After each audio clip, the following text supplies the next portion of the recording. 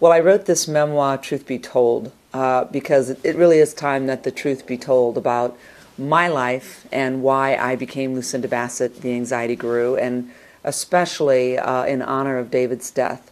Um, I think it's. I think a lot of people find it ironic that I am the guru of anxiety and depression, and have written books on it, and and yet my husband took his life.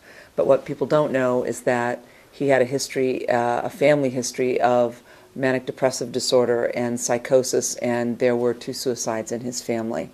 Uh, and so there was a genetic factor there. But the book, really only 10% of the book, the last part of the book is about that. The rest of the book is a success story, and it's an incredible story about this little girl, me, who grew up in a little town in Ohio at the end of a dead end street in a little brown shingled house by a railroad track um, with an alcoholic father. I was sexually abused. Um, I grew up impoverished.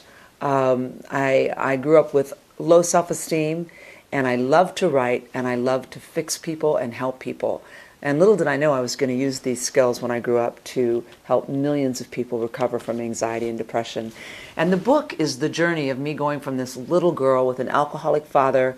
I talk about being sexually abused, I've never talked about that before, and my adventurous teenage years, and then how I how I ended up becoming Lucinda Bassett and creating this empire in this little town of Oak Harbor and ended up with 100 employees creating products that were used all over the world, selling supplements with a company that was doing about $70 million in sales.